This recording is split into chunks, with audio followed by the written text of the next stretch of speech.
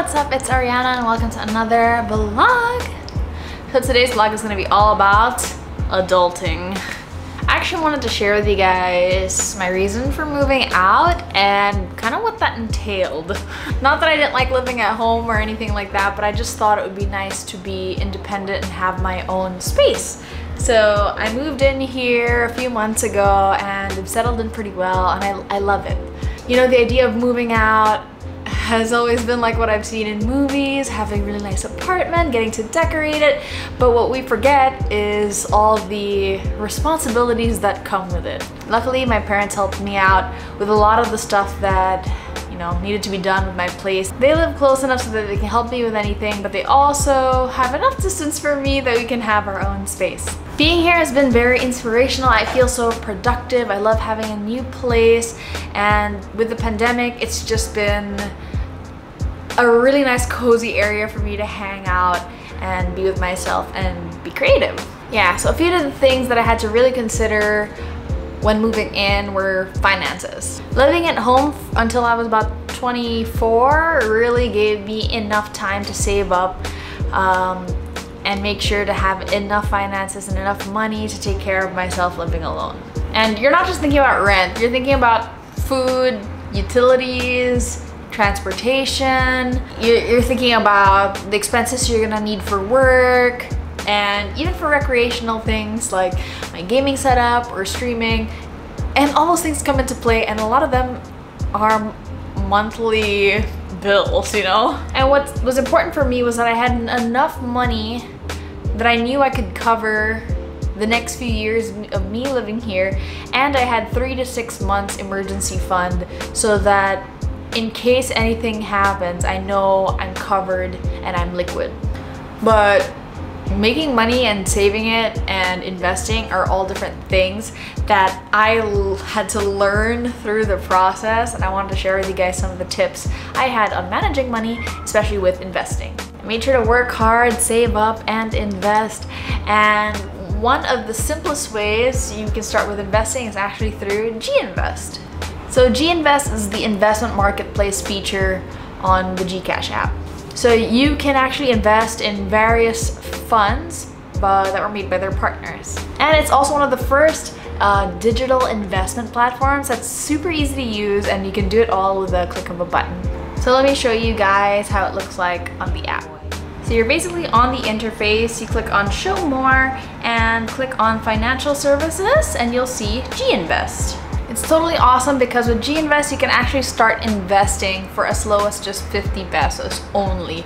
So if you're a student or you just wanted to start investing and you're not really so sure about how to, this is the best way to do it.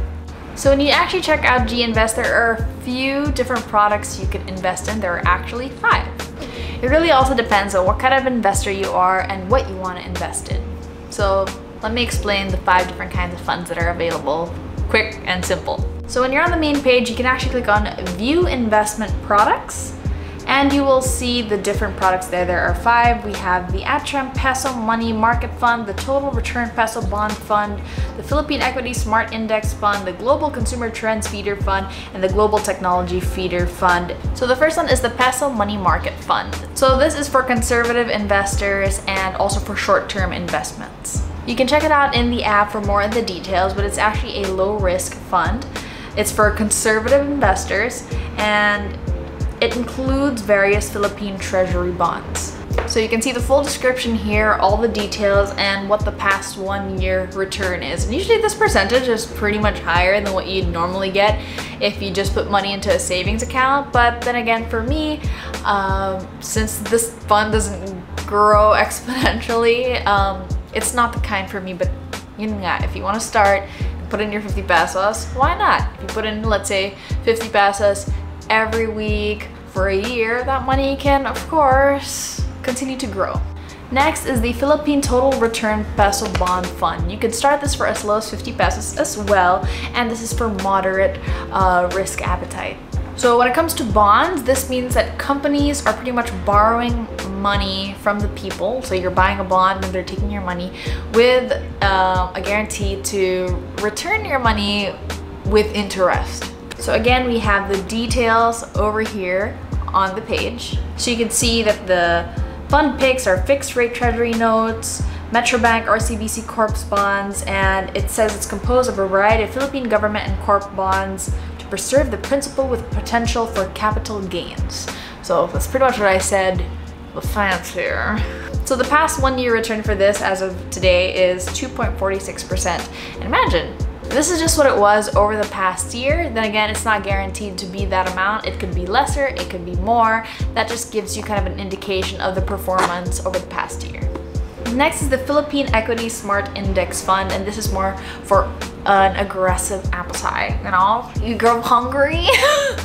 so this is again for more local economy investments. This invests in local company stocks. So you can actually see here that they invest in Globe Telecom, Ayala Corporation, SM Investment, Universal Robina Corp um, as of May 2021.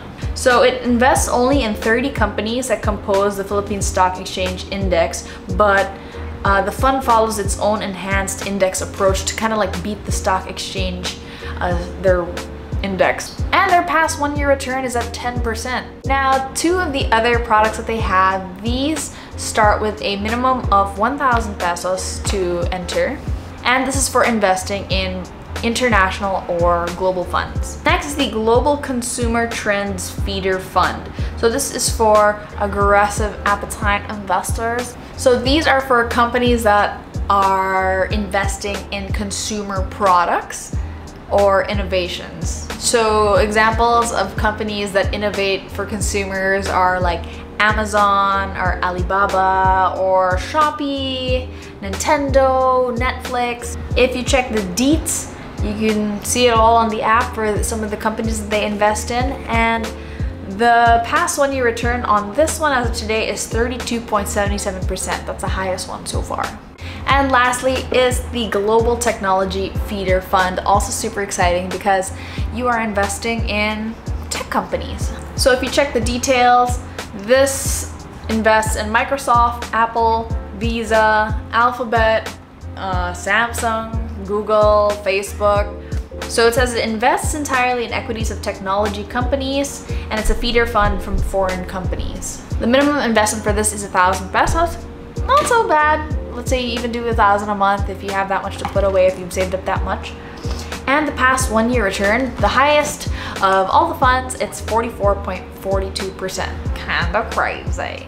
So personally for me, I'm actually interested in the two global funds because I'm kind of a risky girl, you know, and for me it's important to secure my future and to be able to easily invest in companies that I uh, believe in and think are gonna grow. So I like how this app makes it so easy and hassle-free and like, you know, everything fits on one screen and it's easy to understand information. So before we go into why you invest or which ones I invested in, I want to tell you how to actually invest. So all you have to do is make sure you have a verified account on Gcash. You have to answer the risk profile questionnaire. There are no right or wrong answers. This just determines your risk appetite. So this determines the kind of risk you're willing to accept when it comes to investments. Each fund also has its own risk rating. So what they've done is they've given you a questionnaire to kind of help you determine which fund you should invest in based on your risk appetite.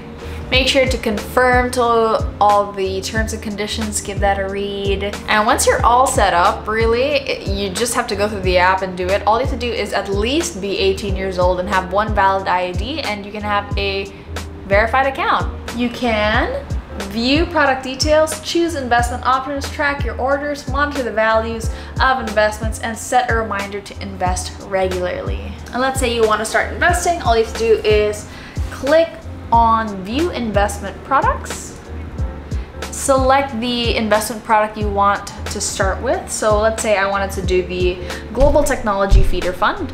Select View Details, click on Buy, Proceed, agree to the uh, terms and conditions. You'll see the user agreement and you'll also see the unit investment trust fund risk disclosure statement and you agree to the fund's declaration of trust. So all of these will pop up. Then you click proceed. Now you get the authentication code sent to your text messages and you just type that in and press submit. Now you can enter the amount you want to start with and this actually deducts it from your Gcash app. So let's start with the minimum which is a thousand pesos. Press done, click next. Make sure to agree to the buy order terms which will pop up again and then press confirm. Then it will say buy order placed. Then you'll receive an SMS with the confirmation and it actually takes two to four banking days for it to reflect in your account. So yeah, it won't reflect right away, you have to be patient. And it's as easy as that to start investing. It's exciting to watch your money grow, especially now. I like how you can do all this from home. The thing with investing, it's not always guaranteed, so always invest what you are willing to lose. But that's what's exciting is that you could also grow your money. Now, why do I use G-Invest for some of my investments? Number one, you can start as early as 18 years old and you only need one valid ID to verify your account. I wish I knew about this earlier. I don't think they had this when I was 18.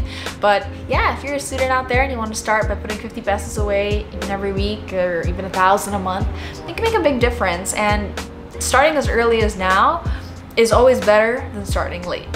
Think about what your investments are going to be used for is it for securing your future, for your retirement, for building a family, for being able to move out and get your own place, set some goals, and investing can be one of the ways you can achieve them. Financial markets always come with some level of risk, so be sure to be a risk taker and know what you're signing up for. Make sure to read all the terms, all the details, so you know what you're getting into. But the thing is on G Invest, the risk is reduced because they are partnered uh, with professionals who basically put these products together for us and it reduces the risk because we know that they're being professionally managed. And this is less risk than investing in the stock market and super simple as well. I like it that it's a no-brainer and that it can also remind me when to invest next so you can actually set like a weekly or monthly reminder for when to keep adding to the fund or you can just put in a thousand and see where that goes. So I hope that video was informative for you guys. If you have any more questions with regards to adulting or investing or my move out journey, I'm uh, gonna answer them in the comments and of course I'm going to come out with more info and I'd love to share more of my moving out experience and share more of my place with you guys. But yeah, that's it for today. I hope you guys enjoyed this video. Don't forget to give it a like, subscribe, and I'll see you guys next time. Bye!